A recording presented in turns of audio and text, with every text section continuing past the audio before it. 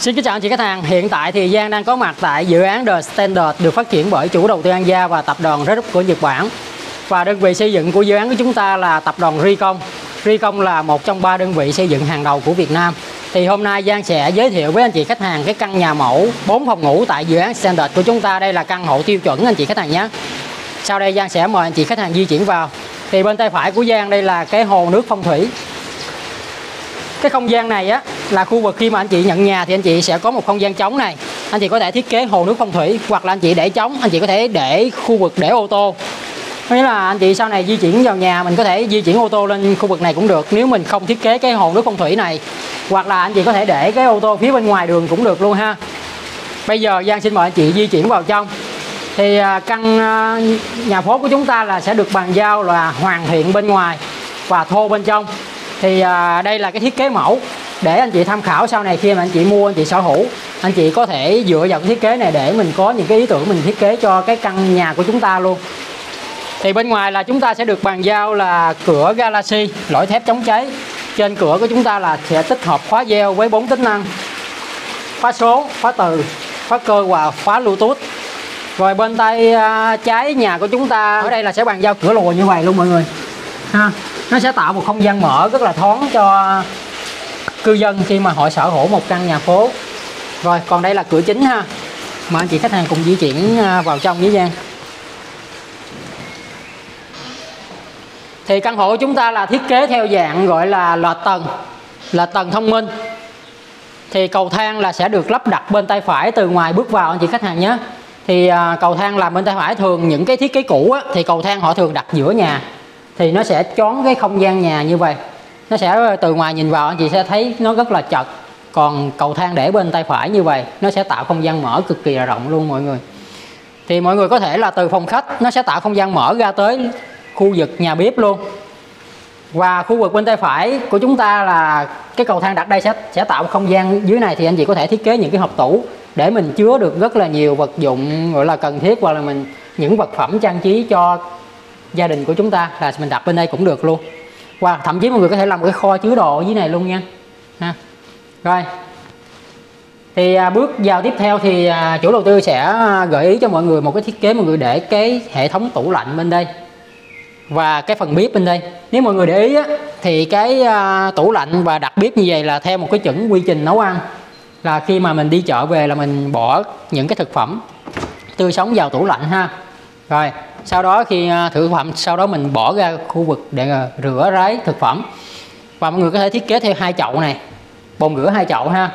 Thì một chậu mình rửa à, rau củ quả để cho nó an toàn vệ sinh thực phẩm, một chậu mình rửa thịt cá, ha, phân biệt. Rồi rửa ráy xong mình bỏ qua khu vực sơ chế trước khi mình nấu nướng. Đó, nấu nướng xong thì mình đặt thực phẩm chính bên đây, trước khi mình dọn qua cái bàn tiệc để mình trải nghiệm một cái buổi tiệc nhỏ tại gia đình mỗi ngày là một cái buổi tiệc cho gia đình của chúng ta luôn đó mọi người. Rất là tuyệt vời đúng không ạ? Đó. Nếu mà anh chị khách hàng à, à, ở những cái nhà phố bình thường hoặc những căn hộ bình thường á khi mà anh chị làm những cái tiệc nhỏ những cái tiệc à, giống như tưởng nhớ chẳng hạn những ngày cưới của gia đình nhỏ mình phải đặt bên ngoài và đặt một không gian như vậy là gọi là không gian rất là luxury á sang trọng. Ha phải giá trị tiền rất là cao khi mà đặt ở những cái nhà hàng còn chính trong căn nhà của chúng ta là chúng ta sẽ có những cái buổi tiệc luxury ngay chính trong căn hộ của chúng ta luôn. Rất là tuyệt vời. Rồi, thì à, không gian này là à, không gọi là khu vực quầy bar. Thì đây là một cái thiết kế đơn giản. Thì à, đây là để mình có thể mình để thực phẩm. Thì ở đây nó có những cái hộp tủ nè. Đó, mọi người gợi ý mọi người đặt cái hộp tủ ở đây, ha. Để mọi người chứa những cái lương thực khô vào những hộp tủ, rất là nhiều ngăn tủ, ha. Rồi còn bên đây là mọi người à, để à, thực phẩm. Rồi rất là nhiều kệ ha. Thì chủ đầu tư ăn Gia của mình là bàn giao thô ha. Nhưng mà những cái gỗ nội thất này là chủ đầu tư ăn Gia lấy từ thương hiệu gỗ cách ta của anh Cường. Đây là một cái gợi ý sau này anh chị sở hữu nhà anh chị mua gỗ cách ta anh chị sử dụng ha. Thì à, những tủ này á như vậy. Đó. Ha. và thiết kế cái tủ này như vậy nè là dạng không gian mở nó rất là thoáng luôn anh chị có cảm nhận căn nhà chúng ta rộng à rồi. Thì dưới cái à, tầng trệt này thì chủ đầu tư gia thiết kế cái à, khu vực à, nhà vệ sinh bên tay phải căn hộ, ha. Rồi, để cái đường nước sẵn cho mọi người luôn. Còn cái căn này điều đặc biệt là phía sau nhà nó có một cái khoảng để mọi người giống như mình làm những cái tiệc lớn á. Mình nấu nướng những cái thịt cá nhiều thì mình đem ra đây, mình rửa ráy nó sẽ gọi là sạch cái căn nhà mình, nó không bị mùi ha, trước khi mình di chuyển vào trong. Thôi, và phía sau này nó rất là thoáng luôn. Gác vệ sinh của trong nhà chúng ta là chúng ta để phía sau nha mọi người. Thì phía sau này sẽ có bộ phận thu gom gác, là họ sẽ thu gom. Nó sẽ tạo ra cái mỹ quan cho cái căn hộ. Mọi người thấy giống như Phú Mỹ Hưng gian di chuyển rồi nè. Phú Mỹ Hưng là một trong những đô thị gọi là hàng đầu của thành phố Hồ Chí Minh cũng như của Việt Nam luôn nhưng mà để thùng rác phía ngoài rất là mất mỹ quan thùng xanh thùng đỏ. Tuy là nhìn nhìn nhìn thì nó đương nhiên nó sạch nhưng mà nó rất là mất mỹ quan. Còn trong cái khu The Standard của chúng ta là rác là đập chung phía sau. Và khi mà anh chị tập trung mỗi buổi tối á, sẽ có những cái anh chị vệ sinh á, họ đi phía sau họ thu gom rác nó vừa đảm bảo vệ sinh cho cái um, căn nhà chúng ta vừa đảm bảo cái mỹ quan cho căn hộ. Bây giờ Giang xin mời anh chị di chuyển lên uh, cái căn phòng ngủ số 1 ha.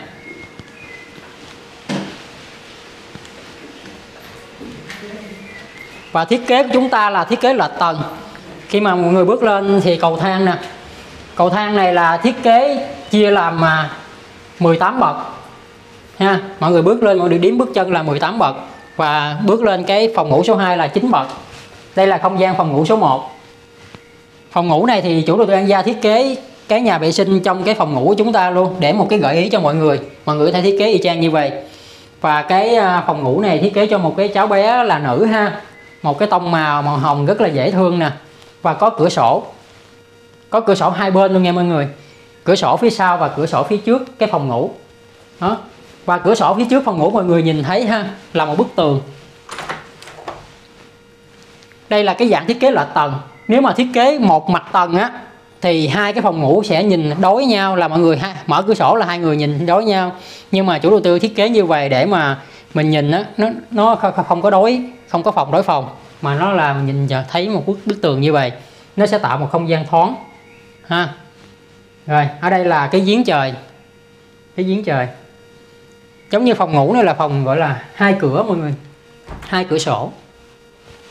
Rất là thoáng khi mà mọi người mở hai cửa sổ nó sẽ tạo đối lưu gió rồi mọi người bước lên. Đây là chín bậc ha.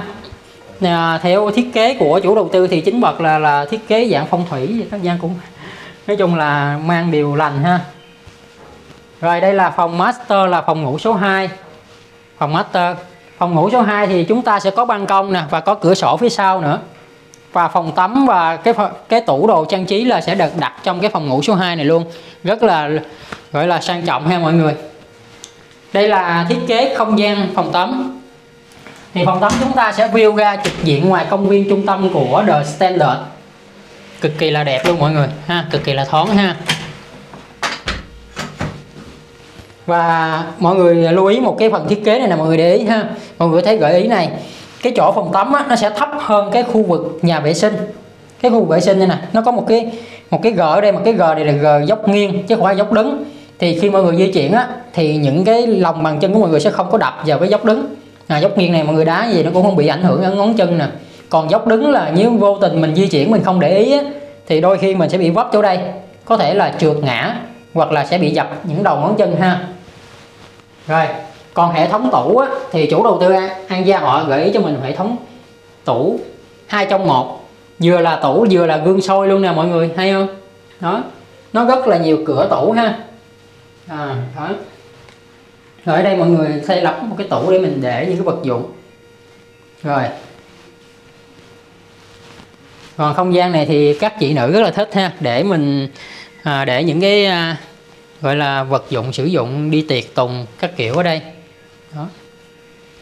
Rồi Giang xin mời mọi người di chuyển ra khu vực ban công ha. Đây là khu vực ban công mọi người ơi. Cực kỳ là thoáng luôn. Đó ban công của chúng ta là view trực diện ngay à, khu à, vực gọi là công viên trung tâm của dự án The Standard. Mỗi buổi sáng mình thức dậy mà mình mở mở cái rèm ra thì mình sẽ nhìn ra một cái à, không gian cực kỳ là thoáng và rất là mát mẻ luôn nè. Nó sẽ giúp cho mọi người có một cái năng lượng trong một ngày làm việc tiếp theo, đúng không ạ? Bây giờ Giang xin mời mọi người di chuyển sang phòng ngủ số 3 ha. Rồi bước lên cũng là chín bậc thang nha mọi người. Chín bậc thang. Một con số cực kỳ là đẹp luôn. Thì cái phòng ngủ số 3 này á thì chủ đầu tư họ thiết kế cái nhà vệ sinh nằm tách biệt với cái phòng ngủ. Đây là một cái option gợi ý. Thậm chí mọi người có thể giống cái phòng ngủ số 1 cũng được nhưng mà cái gợi ý này để cho mọi người thêm một cái sự lựa chọn ha. Rồi nhà vệ sinh cũng làm như vậy luôn. Rồi không gian phòng ngủ số 3 này á, thiết kế cho một bé nam năng động thích thể thao đúng không ạ? Cái không gian thiết kế cực kỳ là đẹp luôn. Và hai cửa sổ hai bên tạo không gian đối lưu rất là mát ha. Thì à, nếu một cái bé nam mà vô đây là Giang đảm bảo là thích ngay luôn đó mọi người. Đó phong cách thiết kế rất là nhiều hộp tủ cho các cháu để à, để đồ của các cháu luôn ha. Rồi. Chúng ta tiếp tục di chuyển sang phòng số 4 phòng số 4 là thiết kế theo dạng gọi là không gian mở mọi người thậm chí mọi người có thể thiết kế phòng ngủ cũng được hoặc là người thiết kế theo dạng không gian mở gọi là không gian trải nghiệm. Hoặc là nếu mà gia đình nào có ờ, phòng thờ á, thì có thể đặt phòng thờ ở đây. Còn mọi người muốn thiết kế theo kiểu trải nghiệm thì thiết kế như vậy. Đó. Giang thì Giang không biết đàn nhưng mà thấy đàn rất là thích. Đó, thích lắm nhưng mà không biết đàn. Tại vì đó lo công việc quá không có tập trung với lại đàn á, học đau ngón tay quá. Làm được có một lần một. à ha. Và phòng này, phòng trải nghiệm này có ban công luôn ha. Thì riêng Giang trải nghiệm cái căn này á, thì thật sự mình rất là muốn sở hữu ngay luôn. Tại vì mỗi buổi sáng mình cứ di chuyển lên đây, mình nhâm nhi một ly cà phê, mình ngắm cái cảnh công viên trung tâm The Standard trước một ngày làm việc. Thì cái năng lượng của mình cực kỳ là nhiều luôn mọi người. Đó, và mỗi buổi chiều mình đi làm về, thậm chí buổi tối đi làm về, mình ngồi ở đây mình mình có thể đọc sách, mình có thể ờ, làm thêm một số công việc, gọi là mà công ty mình chưa xử lý hết á, mình về tính căn nhà mình làm việc đó mình làm xong mình mệt mình nghỉ ngơi luôn cũng được. Đó, rất là tuyệt vời. Thậm chí mình có bạn bè rồi đó mình mời lên cái căn này mình chơi. Ha. Rồi chúng ta sẽ được à, lắp thêm một cái nhà kho ở trên này nè mọi người. Và khu vực này là khu vực sân thượng. Ha cũng chín bậc thang luôn. Con số 9 cực kỳ là đẹp. Thì ở đây là cái nhà kho cái nhà kho chứa đồ. Những cái vật dụng không sử dụng thì mọi người đặt ở đây. Còn đây là tầng giếng trời ha, tầng mái ha. Rồi khu vực này là cái à, sân thượng. Thì à, chủ đầu tư họ lắp đặt cái à, bình gọi là kêu bằng gì ta? Ống nóng lạnh gì đó. Gọi là năng lượng mặt trời. Nhiều khi anh chị khách hàng thông cảm ha. Nói chung nhiều quá không quên mất tiêu. Nên là năng lượng mặt trời. Để mà hấp thu năng lượng giống như là ở đây anh chị cũng dùng nước nóng á. Thì ở đây nó làm nóng cho mình luôn, khỏi khỏi tốn điện. Rồi anh chị nào muốn sở hữu ngay một căn The Standard thì vui lòng liên hệ với Giang qua số điện thoại 091 424 5885 để sở hữu ngay một căn hộ Standard tại dự án The Standard khu biệt lập đẳng cấp hàng đầu tỉnh Bình Dương. Hẹn gặp lại mọi người tại dự án Standard. Chào mọi người, hãy đến tham quan thực tế. Xin chào.